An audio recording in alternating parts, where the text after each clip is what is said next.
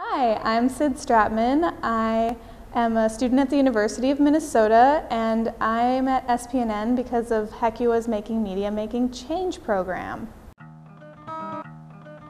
Community media is a wonderful place where no matter what your background is, you can learn how to create your own story and share that with everybody else in your community. I'm Syd Stratman and you're watching SPNN.